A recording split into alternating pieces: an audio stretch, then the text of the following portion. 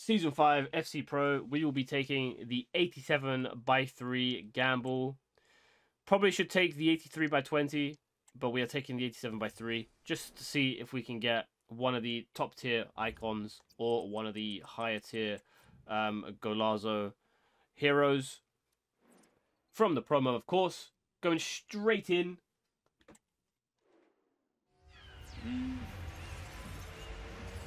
It's a Kimmich, right? No. Who is that?